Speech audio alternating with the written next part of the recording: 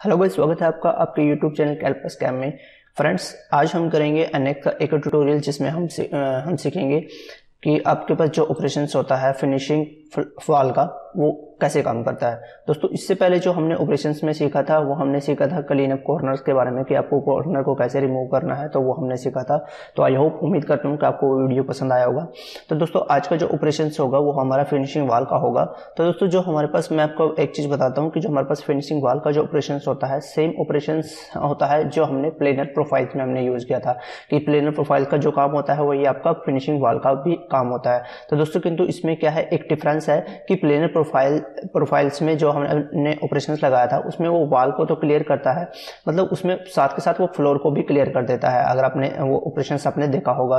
तो उसी तरह अगर हम बात करें फिनिशिंग वाल की, कि फिनिशिंग वाल में क्या करता है कि हमारे पास जो वाल को तो उस का मटीरियल तो है, उसको रिमूव करेगा। साथ के साथ उस पर क्या करेगा लास्ट में आपके फ्लोर में कुछ टोक वो रख देगा, यानी कुछ मटीरियल वहाँ पर छोड़ देगा, ताकि आपका जो टूल है, वो फ्लोर के साथ ना कॉन्टैक्ट में आ सके, उसको टच ना कर सके। इसलिए दोस्तों, ये क्या कर सकता है? फिनिशिंग वाल में क्या करता है कि आपके फ्लोर पर कुछ मटेरियल को छोड़ देता है। बस यही डिफरेंस है दोस्तों, आपका फिनिशिंग वाल और जो हमने ऑपरेशन लगाया था प्लेनर प्रोफाइल्स में, बाकी जो सारा ऑपरेशन होगा वो सेम होगा। तो दोस्तों, चलिए इसको स्टार्ट करते हैं। मैं आपको दिखाता हूँ कि ये किस तरह से काम करता है। तो आपको यहाँ से जैसे ही, मान लो ये मेरे पास मटेरियल था, इसमें हमने क्या किया है? पहले ही प्लेनर मिल का ऑपरेशन लगाया हुआ है। तो आपको क्या करना है? क्रिएट ऑपरेशन में आना है और यहाँ से हमारे पास जो ऑपरेशन है फिनिशिंग वाल का, इसको क्लिक करना है। यहाँ से देखो मैंने सेलेक्ट कर लिया है इसको।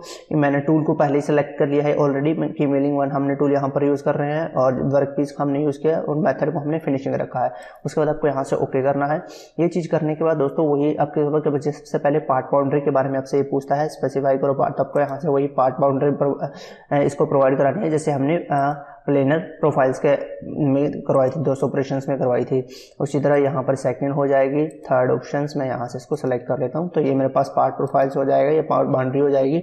उसके बाद दोस्तों, आपको क्या करना है, इसका हमारे पास जो ब्लैंक है, वो प्रोवाइड कराना है। तो ब्लैंक के लिए हम यहाँ पर जो हमारे पॉइंट्स थे, हम उनका यूज़ करेंगे। फ़र्स्ट पॉइंट सेकेंड पॉइंट ये रहेगा थर्ड पॉइंट ये रहेगा, और फोर्थ पॉइंट हमारे पास यहाँ पर इस तरह से क्लोज बाउंड्री आ जाएगी।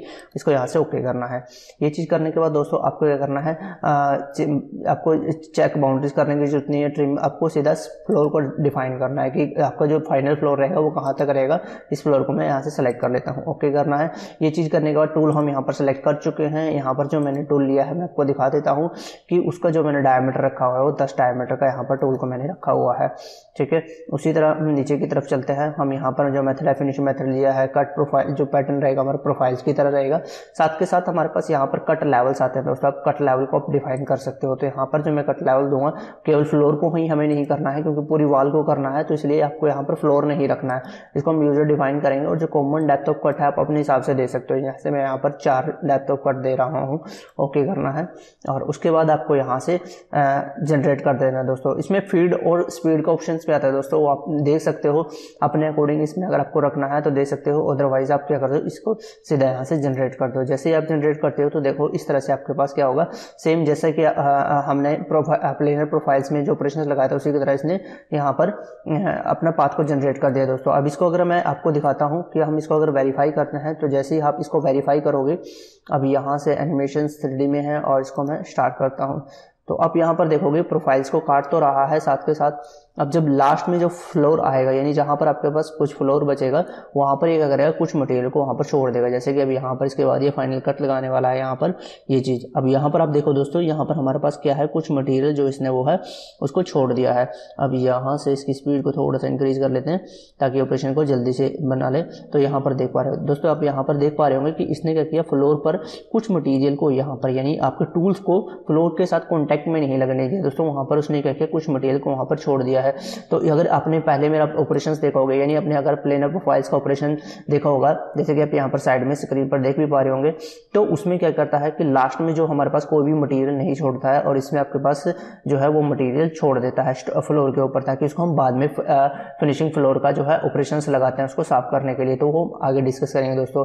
तो ये था दोस्तों पूरा ऑपरेशन जिसमें हमने यूज़ किया है फिनिशिंग वाल का, कि हम फिनिशिंग वाल ऑपरेशन अगर आपको लगाना है, जिसमें आप नहीं चाहते कि आपका जो टूल है वो डायरेक्ट आपके फ्लोर के साथ कॉन्टैक्ट में आए तो उसके लिए आप इसका ऑपरेशन का आप यूज़ कर सकते हो। तो उम्मीद करता हूँ कि आपको ये जो वीडियो है पसंद आया होगा। अगर दोस्तों वीडियो पसंद आए तो वीडियो को लाइक कीजिएगा शेयर कीजिएगा और चैनल को सब्सक्राइब कीजिएगा। तो दोस्तों, आज के लिए इतना ही। मिलते हैं नेक्स्ट वीडियो में। तब तक के लिए थैंक यू फ्रेंड्स